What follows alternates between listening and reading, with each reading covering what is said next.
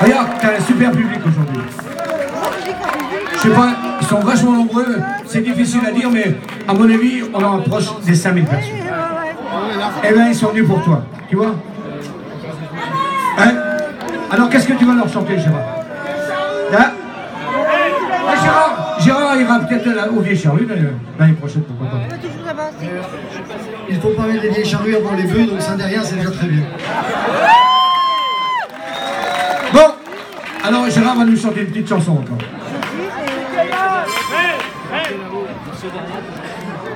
Tu vas pas Michel Tu fais maintenant Ah, pourquoi Ah ouais. C'est Capitaine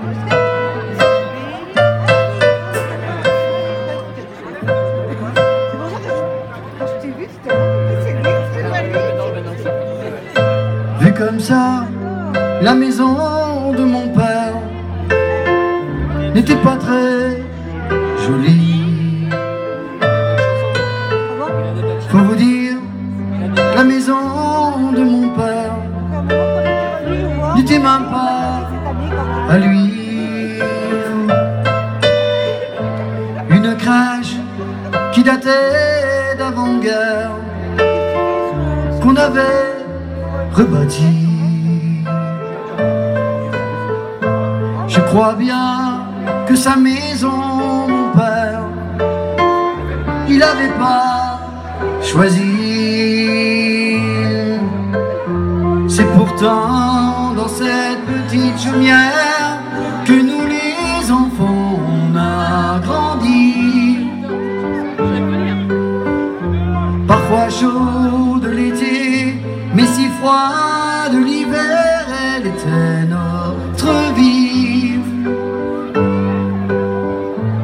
la on allait chercher l'eau à la ferme, le lait.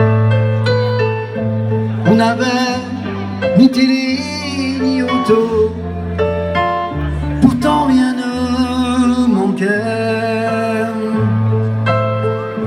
Le fourneau qui marchait au charbon envoyait sa chaleur. À la radio, les premières chansons et les nouveaux chanteurs. Les dimanches, papa les passait au café à jouer au domino.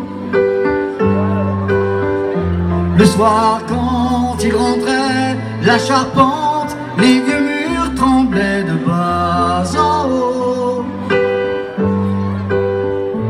J'admirais le courage de ma mère, elle était si gentille.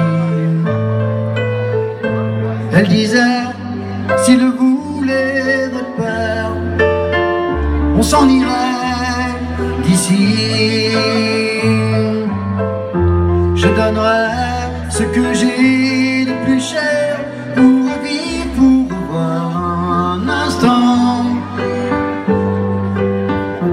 Mes parents, ma petite sœur et mes frères autour de la table comme avant.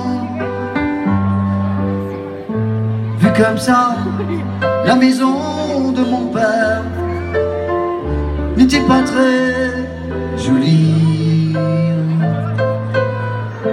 Faut vous dire, la maison de mon père n'était même pas lui.